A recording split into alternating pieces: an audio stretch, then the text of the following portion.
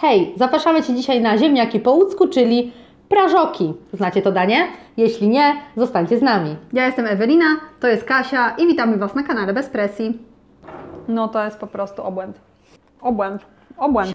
Przygotowanie prażoków zaczynamy od wstawienia ziemniaków, co zrobiłyśmy już przed chwilą. Ziemniaki tam się już gotują. E, No i teraz dodatek do tych ziemniaków, czyli cebula z boczkiem. Ja będę kroiła cebulę, Ewelina pokroi boczek i będziemy smażyć na złoto. Ziemniaków wstawiłyśmy kilogram, mamy taki, no taki jak widać, kawałek boczku i do tego dwie średnie cebule.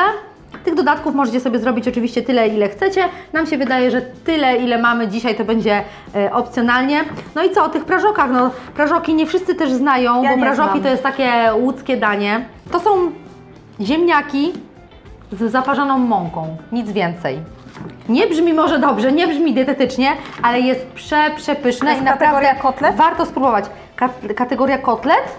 Nie, tego się nie podsmaża, to jest po prostu taka paciaja potem na talerzu, to nie jest kategoria okej. kotlet, to jest kategoria osobne danie, Okej. Czyli tylko prawo. Panio, a na wypasie? Można podać prażoki do jakiegoś dania, można, ale można też podać po prostu z boczkiem, z cebulą i z kefirkiem, tak jak to dzisiaj zrobimy. Tam na to I jest kopereczek super. idzie, to I na takie- to kopereczek. Mhm. To już tu mam ten klimacik. Znacie jakiś przepis z ziemniaków, który jest ciulowy? Niedobry? Niesmaczny?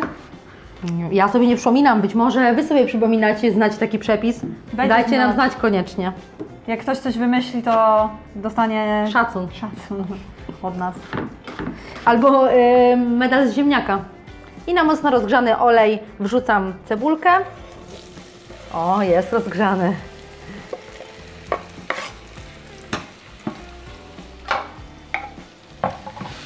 Jak troszkę się zeszkli, to dam, dodam do tego boczek. I to razem będzie się smażyło, aż cebulka będzie taka złociutka i słodka.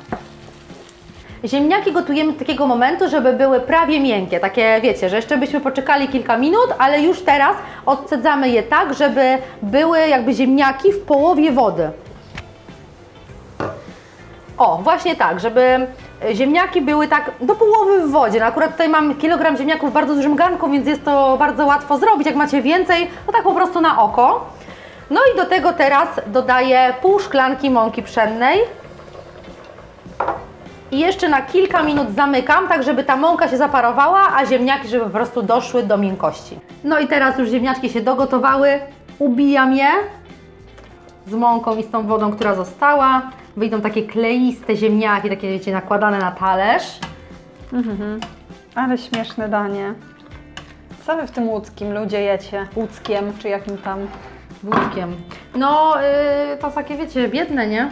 To były takie w tych biednych Wróciliśmy, rejonach. wróciliśmy. Wróciliśmy do tego, no korzenia. dokładnie. Tylko, że to jest pyszne wszystko też, nie? Bardzo Tak. proste i pyszne ziemniaki, cebula, żur. Jak konsystencja?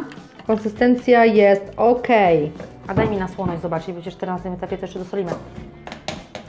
Nie słone, ludzie. Ale przecież boczek jest słony. Boczek jeszcze trochę pamiętam. No, ale to aż taki słony nie jest, tam jest tyle cebuli.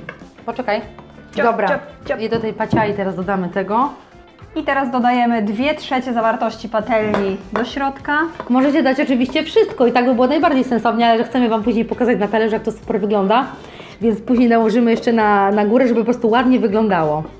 Można też ten tłuszczyk tutaj śmiało. Nie żałujmy sobie. Mieszamy. Teraz dopiero to danie nabiera sensu. Jak jest straszna bida, Ale to pachnie. można zrobić samą smażoną cebulą i też jest super. Można jeść jako osobne danie, po prostu z kefirem, tak jak my dzisiaj. Można jako dodatek do jakiegoś Kotleta. tak. No i prażoki to są takie mm, najbardziej tradycyjne w Łodzi do kapuśniaku. Kapuśniak z prażokami. No dobra, okej, montujemy danie, zaraz.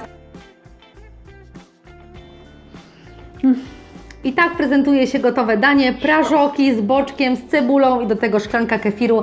Ewelina nigdy tego dania nie jadła, bo to jest takie danie typowo łódzkie, Spróbuję. więc spróbuj. No to jest takie gęste, takie pirena, bogato. No, z mąką zaklepane. No jak? Twoje smaki, co Ewelina z fanką ziemniaków i cebuli, więc jak mogło być inaczej oraz boczku. Boskie, jakie to jest, to jest ten pyszny. I jeszcze przepij to tym kefirem, to jest dopiero sztosik. Mm. Dobra, ja lecę. Dokończę odcinek bez tego. Narka! No i co, co, cóż ja teraz mam powiedzieć? Zostawiła mnie, ale dobrze, na zdrówko. Z ziemniaczanych przepisów polecam Wam kotlety ziemniaczane z fetą i szpinakiem. Będą gdzieś tutaj podlinkowane. Mm. No i zapraszamy Was na inne przepisy, które są tanie, na przykład na makaron z pieczarkami.